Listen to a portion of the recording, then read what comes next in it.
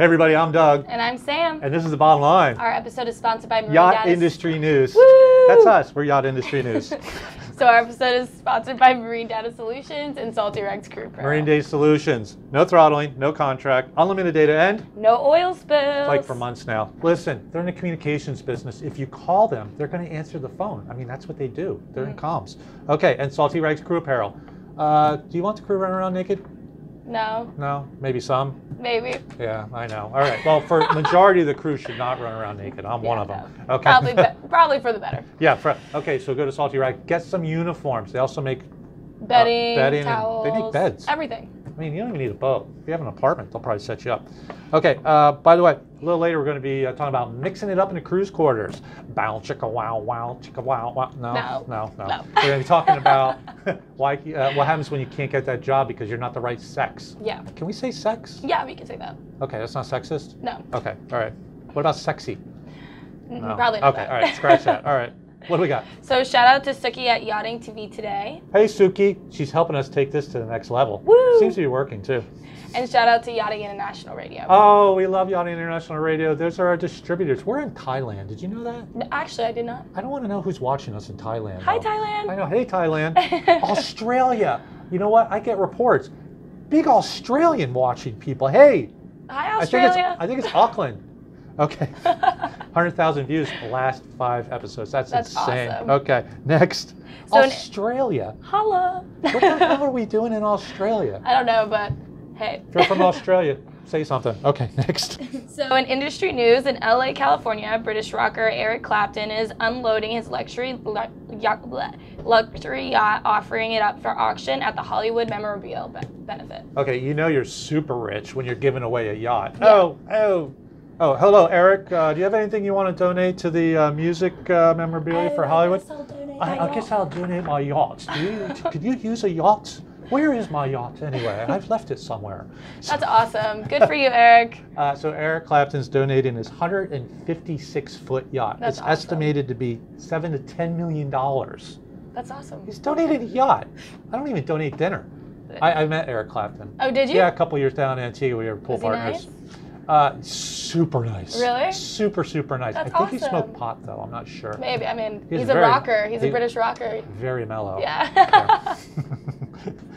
we were playing pool and Keith Richards was cheering us on once. I completely lost it. That's so the cool. Pool table, pool stick went across the room. Pulled it. You know, you have you have Keith Richards go, "You can do it, mate." Like.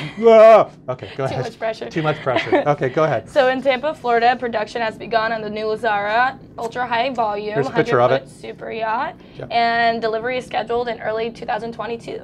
Look at this thing. It's 100 feet long and it's Yeah. like 40 feet tall.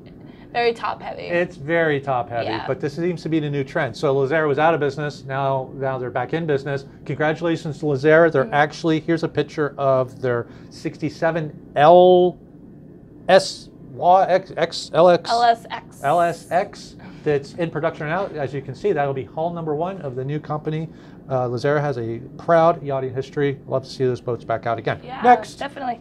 In St. Petersburg, a deckhand decides to use the boss's boat without permission. Yeah, look at this. So here's the deal. So this this this guy's paid crew on this little boat, and the owner went out of town. So he's trying to impress, uh, impress his little chickie right there in the black bikini.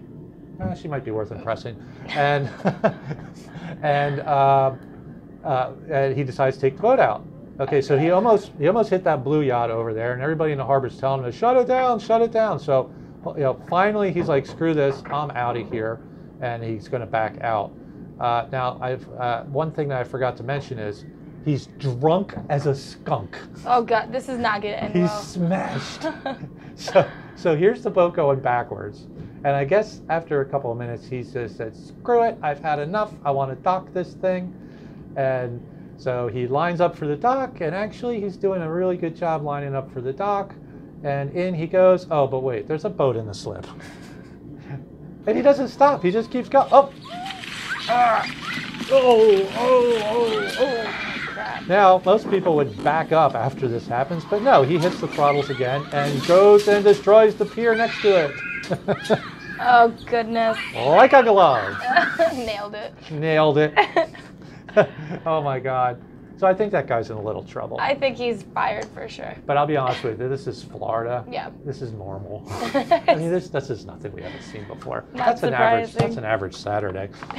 Okay, next. So in Crew Corner, we're talking about co-mixing berthing, guys and girls sharing cabins on board. You mean like getting busy?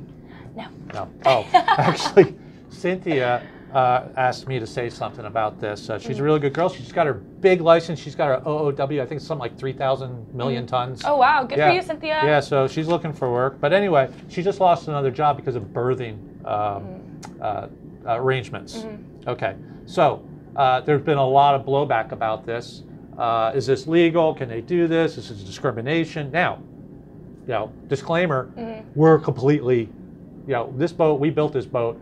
Uh, and uh, we have 50-50 co-berthing. Yeah. So we have 50 girls, 50% girls, and 50% Percent guys. guys. Yeah. Uh, and as the newer boats come out, this is going to be less of an issue. Yeah. Okay, but can you force someone to? to uh, I mean, you would you can't. would you sleep with a guy in the same cabin? In this, no, um, I would not. I'm sure they would love to. I I prefer not to. Well, I think the main thing right now is because of the lawsuit that happened a couple years ago Mhm. with the the girl Yep. and who ended up getting seventy million dollars from it. Seventy million dollars. Yeah, and the owner lost the boat, right? hmm So it's more of avoiding something that could possibly happen, and if it's avoidable, just do it. Sam's absolutely right. The guy Yeah. lost his boat. Yeah. Okay, so as an owner or captain, why would you take the chance? Yeah. Why?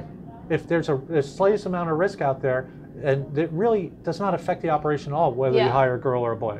Okay, so that's the number one reason why. As a matter of fact, when that happened, I switched. Yeah. I, I, I broke the crew up the whole time. Now, even if you have a waiver, hmm that could still mean trouble because some, you know, oh, here's a waiver, here's a waiver, you know, uh, look, oh, by the way, come by and get some hats. We're throwing, I mean, boats are cruising by going, oh, the bottom line, Doug. Okay, so so you're in a cabin with a guy, Yeah. Right? Mm. And you've signed waivers. Yeah. I'm cool. I don't mind. I don't care if sleeping. Okay, one night he comes home, smashed ass drunk. Mhm. Okay, he's been pining for you for like a month. Yeah. And now he's like, screw it, I'm going to do it. Mhm. All right. You can't predict that as an owner. Yeah. So why take the chance? Now, Exactly. so that's why. That's why it is. Sue, sue, sue. Now, Yeah. is it legal?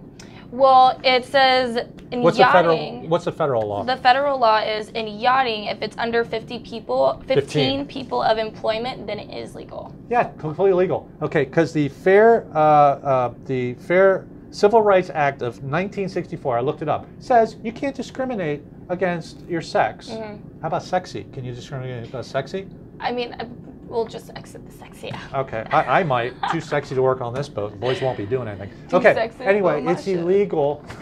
it's illegal to uh, hire somebody or only say I want a male or female. Mhm. Okay, that's a federal law. Yeah. However, like Sam just said, uh, companies. Okay, I'll read it off. Private employers, state and local governments, educational institutions, public employment, uh, corporate employment, public uh, uh, uh, employment agencies, labor organizations. Mhm.